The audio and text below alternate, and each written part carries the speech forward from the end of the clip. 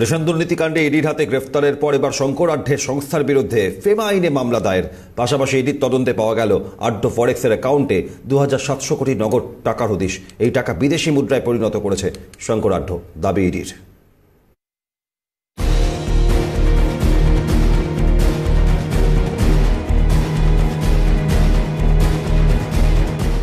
Ration দুর্নীতিকাণ্ডে ইডির হাতে গ্রেপ্তারের পর মন্ত্রী জ্যোতিপ্রিয় ঘনিষ্ঠ বনগাঁ দাপুটের তৃণমূল নেতা শঙ্করাঢ্যের বিরুদ্ধে একের পর এক চাঞ্চল্যকর তথ্য উঠে আসছে ইডির হাতে।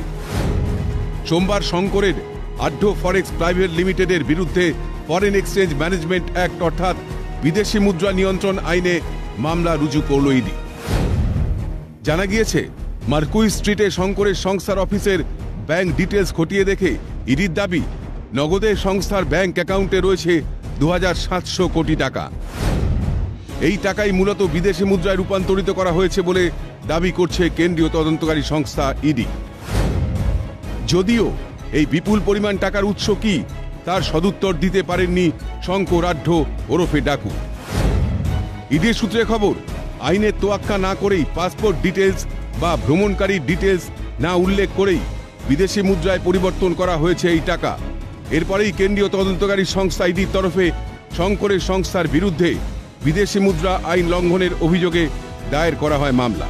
তবে জানা গিয়েছে, খাতায় কলমে শঙ্করের আঢ্য ফরেক্স কোম্পানির ডিরেক্টর হিসাবে তার মা এবং ভাইয়ের নাম রয়েছে। যদিও সংস্থার কর্মীদের বয়ান অনুযায়ী ব কলমে শঙ্করী চালান এই সংস্থা। প্রসঙ্গত, ফেমা আইন অনুযায়ী বৈদেশিক মুদ্রা পরিবর্তন করতে গেলে পাসপোর্টের ডিটেল বা ভ্রমণকারীর ডিটেল জমা করতে হয়। তবে বনগার এই দাপুটে তৃণমূল নেতা শঙ্কর আঢ্য অবশ্য এসবের তোয়াক্কা করেননি। আর ঠিক এই কারণেই সমস্ত তথ্য খতিয়ে দেখে ইডির দাবি, এই পুরো টাকাটাই আসলে রেশন দুর্নীতির টাকা, যা বৈদেশিক মুদ্রায় রূপান্তরিত করে পাচার করা হয়েছে বিদেশে। আর সমগ্র ঘটনায় শাসক শিবিরের দিকেই যে আঙুল উঠছে তা বলাই বাহুল্য। যদিও এই ঘটনায় রাজ্য প্রশাসনের মুখে কুলুপ, কার্যত প্রশ্নের মুখেই ফেলে দিচ্ছে শাসক শিবিরকে।